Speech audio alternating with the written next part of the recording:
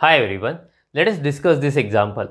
So what we have e raised to minus t sine square t. This function we have and we have to find its Laplace transform. Let us write a given function first. We have what we have let me write e raised to minus t sine square t. It is fixed in our mind that when exponential function is there obviously we have to go for first shifting theorem. That means first of all we have to find Laplace of sine square t and after that we have to go for first shifting theorem. So by uh, solving it we will easily have the answer. Let us focus on Laplace of sine square t now. Let us see how to find it. So consider Laplace of sine square t. This thing we have to find, right? But the problem is that when square is there, we don't have any direct formula. So here we have to use the knowledge of trigonometry. Can you tell me how to express sine square as a linear combination of sine or cos? The formula is sine square is equal to 1 minus cos 2 theta divided by 2. Let us use that formula here.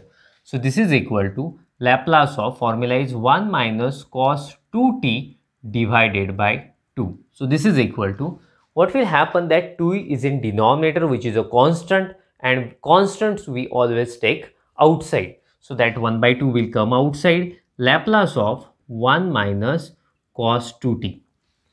We know the property of uh, Laplace that is when minus sign is there we take separate separate Laplace. So here also we can take separate Laplace. I am directly writing the answer here. Huh? So this is equal to 1 by 2. Laplace of 1 is 1 by s.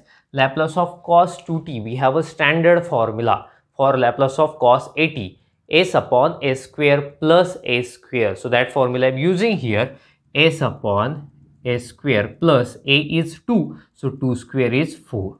So in this way we got Laplace of sine square t. So that means we found out the Laplace of sine square t. Now we have to focus on entire function. That means in case of Laplace, normally we start with the right hand side function and after that we consider all functions one by one. Fortunately, we have only two functions here, sine square and e raised to minus t. This one we have done. Let us consider e raised to minus t now.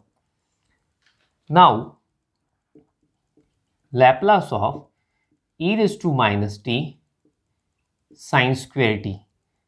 So let me write by, okay, here I will write. See by first shifting theorem, since exponential function is there. In case of first shifting theorem, we do not find a Laplace we simply make changes in the Laplace of neighboring function.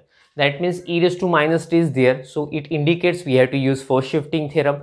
So whatever its neighbor sine square t, we have to make changes in its Laplace. Its Laplace already we have found out, right? So first shifting theorem says we have to replace s by s plus 1 since multiple of t is minus 1. So that's why we have to replace s by s plus 1. Let us see what will happen. So this is equal to 1 by 2 I am replacing s by s plus 1. So 1 upon s plus 1 minus, here also I will replace s by s plus 1, s plus 1 in denominator also. Wherever you, you say s, you have to replace it by s plus 1. So this is equal to 1 by 2. Let me simplify it further. 1 upon s plus 1 minus s plus 1. You can expand this bracket. s square plus 2s plus 1, 1 square is 1 plus 4, 5. So a plus b bracket square formula we use. You can further simplify by cross multiplying but you will have uh, answer like this okay? So make a screenshot of it and uh, then we will stop. Thank you. Bye bye